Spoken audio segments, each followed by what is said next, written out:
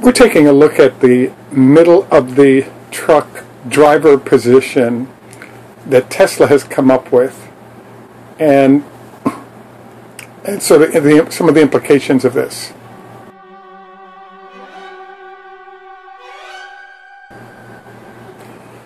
This is Greg for Tesla Fan Insight. If this is your first time viewing one of our videos, please like and subscribe as well as hit the bell so you'll be notified when we have new things coming out. We usually post two, at least three times a week, sometimes five, and this will give you a chance to not miss anything, especially now that we're right on the cusp of Model 3 coming out and there are a lot of exciting new products.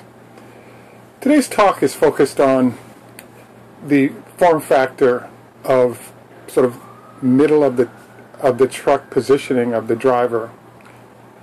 I was sort of there's some folks that mentioned it that are on my page, as well as the fact that I thought it was an interesting shift by Tesla to make that move. I then sort of talking with some of my PhD buddies as well as uh, doing some research online to figure out who was actually doing this. And what came up was that Walmart, in fact, had made an effort uh, to come out with a truck uh, called the the Wave uh, back in 2014. And in the case of this truck, it does look kind of funky, as you'll see in the B-roll. I will include this time. I apologize it wasn't on the original video. So what's interesting about the Wave is that Walmart was basically using a number of methods to try to improve the overall cost of the vehicle. Among those, uh, they actually were doing better aerodynamics on the front of the truck, which included uh, a sort of a, a, different kind of a turbine. It, this turbine, not being the regular large diesel engine, um, left room to do some experiments to get a more aerodynamic front of the vehicle, which resulted in better fuel economy. According to some of the stuff I read, they were able to get 13 miles a gallon, uh, but clearly you know, after working with Peterbilt and a bunch of other partners, for some reason the project didn't go anywhere. Um, I was sort of fascinated because um, this gave the video from this, as you'll see, gives us an opportunity to take a look over the driver's shoulder at what things look like from that middle position. So, from what we can devise from Tesla, the motors for the electric vehicle don't require as much space as the 2,000 parts that go in the typical ICE engine. So all of a sudden, you now have a large bay in front. In the cars, that bay is being used to carry cargo, you know, as another storage facility. But in the case of the truck, by sort of leveraging that space and putting the driver in the middle, it allows you to taper the vehicle in a way that sets it up more like how a fighter pilot looks. So how it looks from a fighter. So if you look out the window, out the windshield, you'll notice that the structure isn't as pronounced when you're looking at front, but from, from the inside, you'll notice that there's more of a sort of a bullet or shape that helps generate um, a better profile for the wind and therefore reduce costs. Now, as you'll see, this truck isn't as radical as the nose of the original Wave vehicle, but it did sort of throw some interesting numbers out. The engineers involved indicated that uh, they were able to get a 20% reduction in uh, wind resistance and a 10% reduction in fuel consumption driven by this different shape. And I would say that from looking at Tesla I would say between 50 and 70% of that gain is being achieved by the different manner in which Tesla is sort of designing the front of their truck uh, to, to sort of manage uh, wind better. I'm a big fan of Mercedes Benz, and they preceded Tesla in bringing out their electric vehicles by a year or two. And I was kind of surprised that they, in, on their futuristic trucks as well as electric trucks, they've shown no inclination to sort of shake things up to get better aerodynamics to pick up uh, mileage. most of the vehicles they've put out have been either you know kind of short range. Uh, the latest truck that they've brought out that's electric with an 18650 battery, as we've reported, it about has about 200 miles of range on it, which is actually pretty good. But over that kind of distance is when you'll start seeing significant impact of wind resistance on the vehicle. But uh, Tesla or Mercedes-Benz elected not to modify sort of the truck design, and in fact, they're um, sort of steadfastly maintaining sort of non-electric uh, optimizing uh, trucking sort of form factor. I suppose, or I'm really thinking about the fact that as you as we've discussed in the past, one of the things that goes on with trucks is the fact that if you're in a long haul situation, having a very sort of long nose to the truck is actually a good deal. You get a, a longer wheelbase, so it's a more comfortable ride for the driver. Um, you know, there's other elements to sort of that long nose on front. When you go to a sort of a flat nose on the front of the truck, the aerodynamics aren't as good.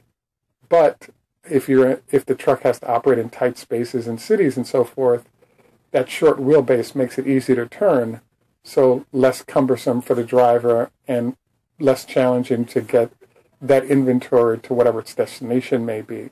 So, in fact, the record setter, I think, for Tesla or for Mercedes Benz is a Freightliner product that they came out with, and it actually has a fairly long nose that allows you to sort of work with, um, you know, an aero profile. Uh, perhaps not as good as Tesla, but definitely, you know, to work on an aero profile. So I'm sort of dragging up my point I've got the B-roll running so you guys can see what it, it looks like. Sort of the biggest thing I was wondering about and wanted to take a look at is what did I think about the. Um, so the big analysis, which you'll be seeing as part of the B-roll, is what's kind of going on with um, the driver and the middle position on the road.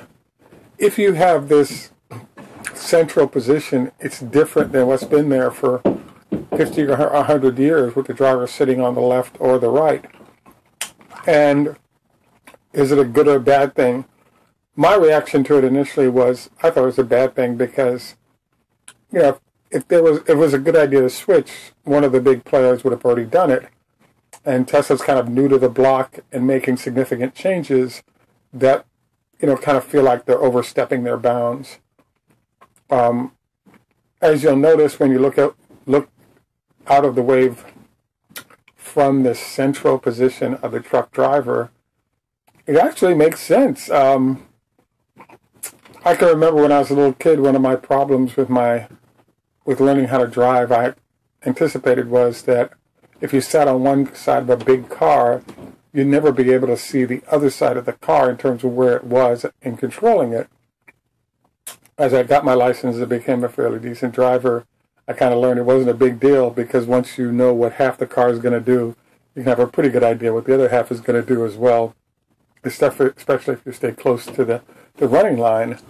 But after seeing how this looks in the Wave and therefore how it might look with the Tesla, I actually think there's a lot of people that are going to adopt this as a solution because it um, it looks good, seems to work well.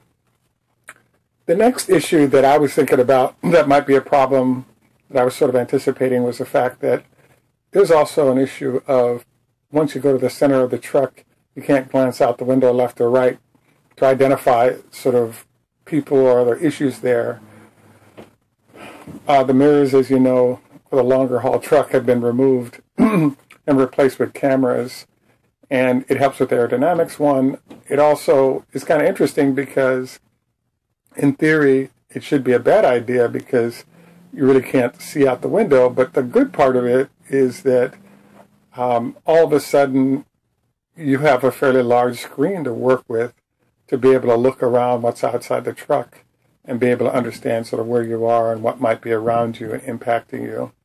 And so I would say that um, it's actually is pretty good. I, I drove an X for about an hour, 45 minutes, or uh, a Model X, and I was really surprised initially. I was like, you know, what is this, a giant screen? With my ability to look through the rearview mirror at vehicles coming at me. And after 15 or 20 minutes, I was impressed because I didn't actually have to look at the screen anymore. It's large enough so I can almost pick it up from my peripheral vision what's going on behind the vehicle. And I think once truckers are able to use their screens efficiently, they'll actually find that they know more about what's moving around the truck than they did when they actually had mirrors, uh, because it, it actually does work pretty well. Um, despite all this, I want to let you know that I'm maintaining my devotion to side view mirrors and no computers. So all these new fangled young whippersnappers getting rid of time-honored traditions needs to stop immediately. Because just because it's a better form factor and works better doth not mean that we should uh, bail out on our elders and move on to new technology. So, uh, Elon, give us back our mirrors and dump them computers uh, or monitor screens so we can get back to the old days when we had fossil fuels sort of killing the planet, etc., versus moving on to the new, uh, which includes every effort to reduce the carbon footprint of vehicles, which actually helps out the planet and all of us sort of be healthier, live healthier going forward. I'm being facetious. Uh, please uh, don't take me too seriously at the back end here. Any rate, um, I want to thank you for taking time out uh, to spend some time again with us. This is Greg for Tesla Fan Insight. Sorry about the uh, B-roll mix-up, and uh, we look forward to our next dialogue. Probably looking more around of.